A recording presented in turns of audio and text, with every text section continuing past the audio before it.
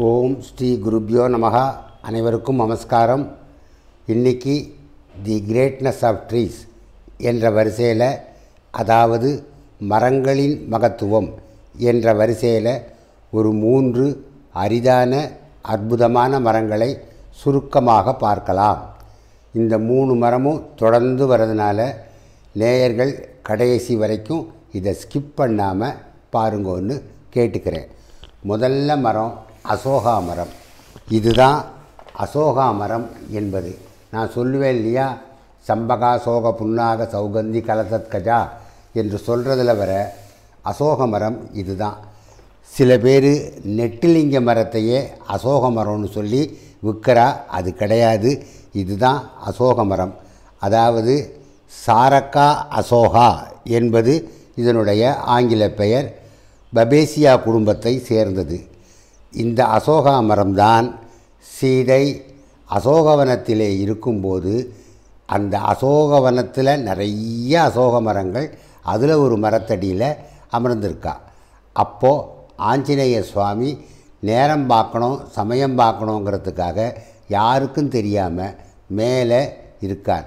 அப்போ ராவணன் வந்து சீதாதேவியை மிரட்டிட்டு கெடு கொடுத்துட்டு என்னை மணந்து கொள்ளாவிட்டால் உன்னை வெட்டி இந்த ராட்சசிகளுக்கு உணவாக்கி விடுவேன் அப்படின்னு சொல்லி மிரட்டுறான்.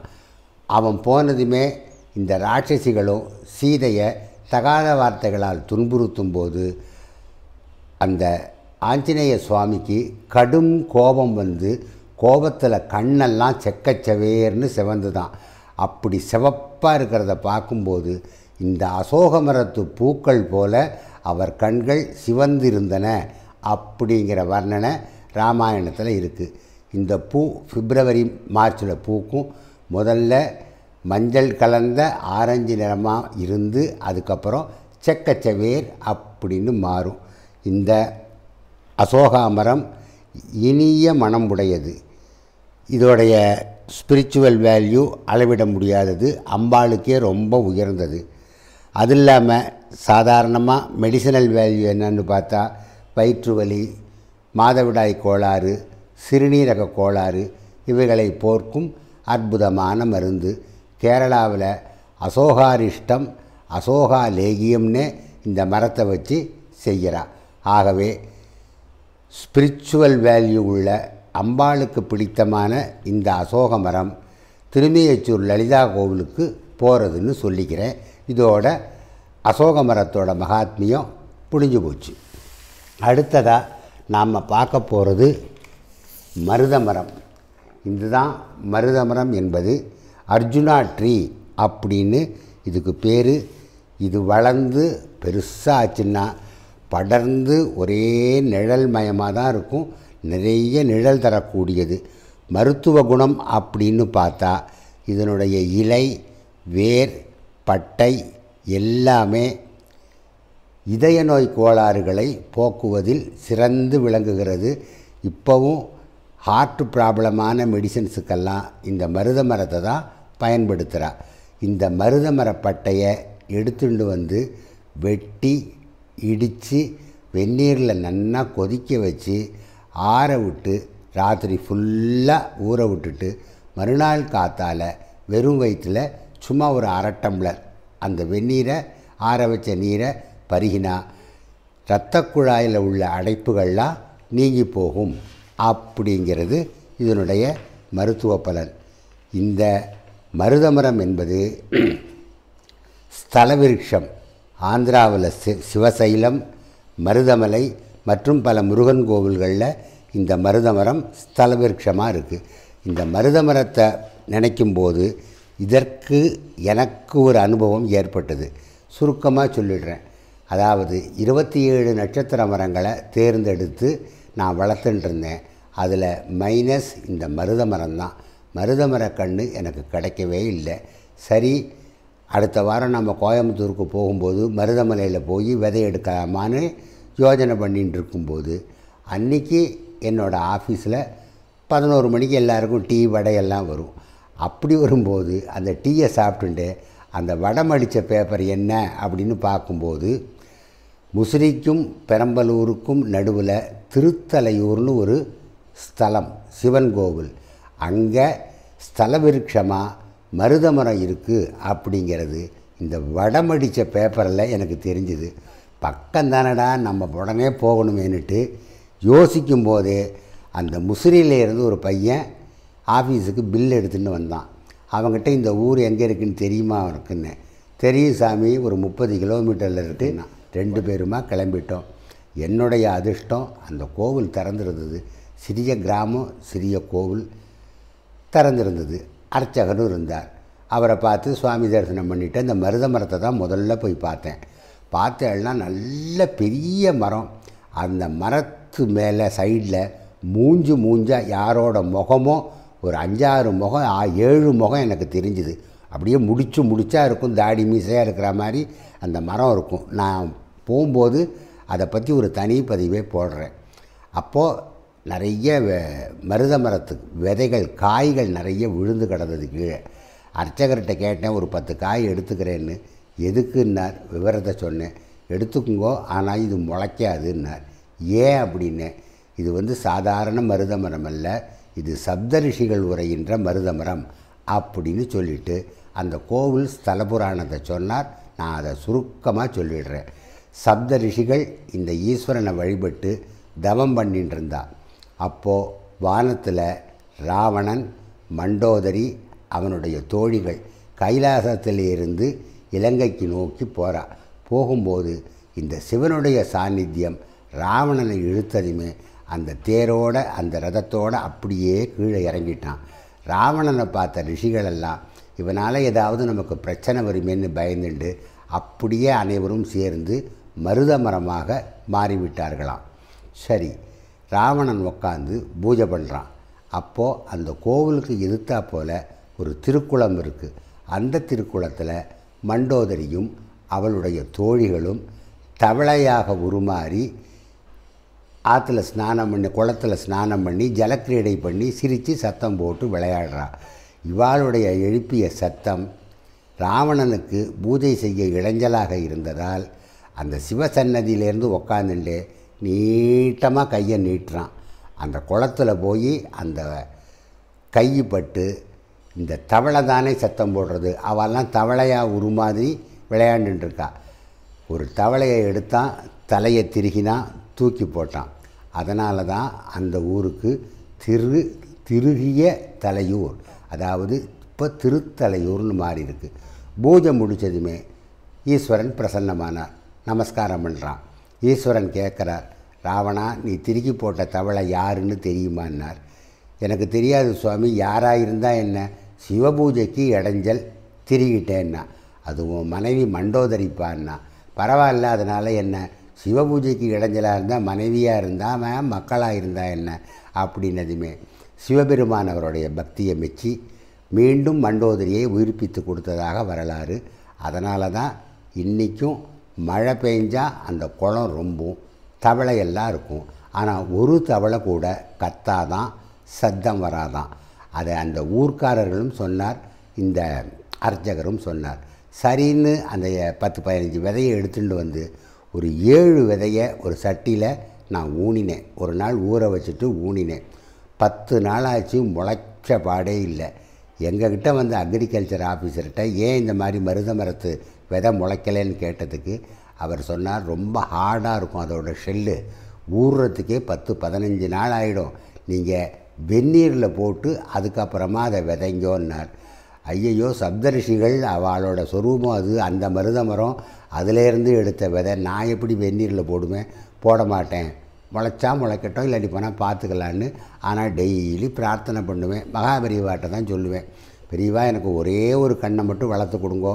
உங்களுக்கு தெரியும் நான் விற்கிறதுக்கு இல்லை இருபத்தி ஆறு மரம் ரெடி. இது ஒரு மரம் இருந்ததுன்னா கொண்டு போய் வச்சுட்டு வருவேன்னு பிரார்த்தனை பண்ணிவிட்டு விட்டேன்.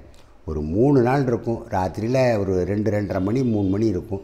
பாத்ரூம் போக எந்திருக்கும் போது மனசுக்குள்ளே என்னமோ தோணித்து என்னோட நான் மாடியில் தான் குடியிருந்தேன். அது எதிர்த்தாப்புல இந்த மொட்டை மாடியில் ஒரு கூரை ஒன்றை போட்டு இந்த செடியெல்லாம் நிறைய வச்சுருப்பேன்.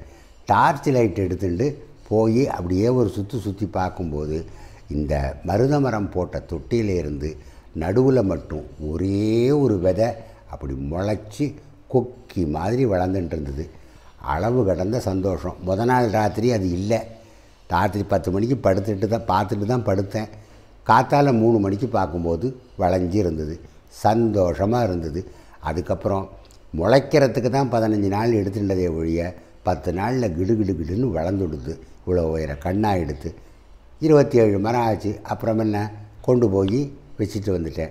இந்த மருத மரம் ஒரே ஒரு மத பாக்கிய எந்த விதையும் முளைக்கலை. அது ஒரு விதை தான் முளைச்சது. கொண்டு போய் வச்சுட்டு வந்துட்டேன். மகாபிரியவா அனுகிரகம். இது ஸ்ரீசைலத்தோட ஸ்தல விருட்சம் அப்படின்னு சொல்லிட்டு மருதமர மகாத்மியத்தை இதோடு முடிச்சுக்கிறேன். இது வந்து சுவாதி நட்சத்திரக்குரிய மரம்.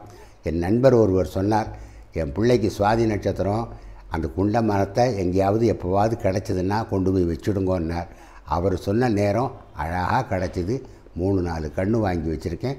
ஒவ்வொரு ஸ்தலங்களில் வச்சுடுவேன்னு தெரிவிச்சுக்கிறேன். அடுத்ததாக குங்கிலிய மரம் பற்றி.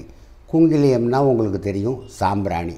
இதோ பாருங்கோ இதுதான் குங்கிலிய மரம் என்பது.